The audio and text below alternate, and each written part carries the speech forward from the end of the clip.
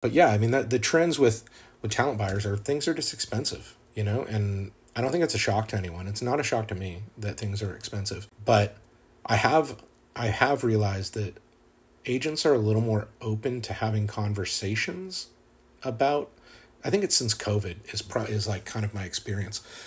You know, people are more willing to do door deals in venues. People are more willing to do deals with a with a greater back end um, if they sell out or or you know things sell well um, or have triggers you know that allow them to make some money based on velocity or success of ticket sales